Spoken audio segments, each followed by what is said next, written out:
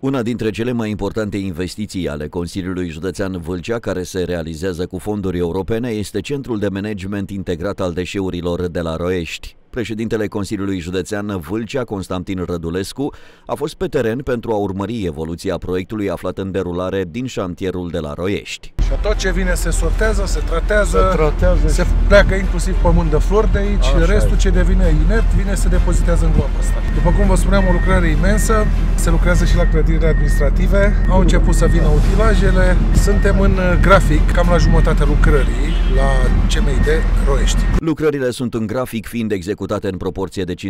În prezent se lucrează la clădirile administrative ale stațiilor de sortare și la halele aferente acestora. CMID Roiești face parte dintr-un proiect mai amplu pentru care Consiliul Județean Vâlcea a obținut o finanțare europeană de peste 30 de milioane de euro, investiția de aici fiind ultima care a mai rămas de realizat. La finalizarea lucrărilor estimate a fi spre sfârșitul lunii octombrie 2023, la Roiești va funcționa un depozit ecologic, o stație de sortare și o stație de tratare mecano-biologică a deșeurilor.